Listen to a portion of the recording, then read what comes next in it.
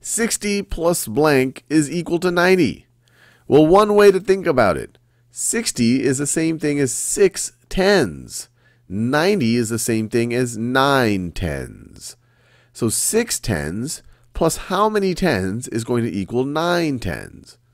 Well, 6 plus 3 is 9, so 6 tens plus 3 tens, 3 tens, which is the same thing as 30, is going to be equal to 90. So if you look at it the other way around, 90 minus 60 is going to be what? Well, 9 tens minus 6 tens is going to be 3 tens. Let's keep going. Let's do more of these. Okay, they say 80 minus 40.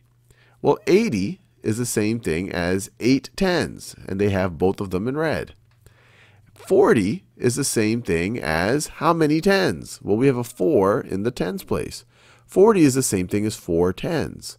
So 80 minus 40 is the same thing as equal to 8 tens, 8 tens minus 4 tens. 8 tens minus 4 tens. So 8 tens minus 4 tens is the same thing as, well, what's 8 minus 4? 8 minus 4 is 4. 8 tens minus 4 tens is 4 tens. Well, what's another way of writing 4 tens?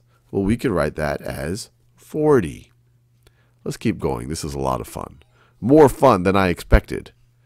All right, another one just like that. 90 is 9 tens. 60 is 6 tens. So 90 minus 60 is equal to 9 tens minus 6 tens. 9 tens is the same thing as 90. 6 tens is the same thing as 60.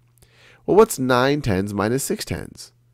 Well, that's going to be 3 tens. So 90 minus 60 is equal to 3 tens. Well, another way of writing three tens is 30. So we could also write 90 minus 60 is equal to 30.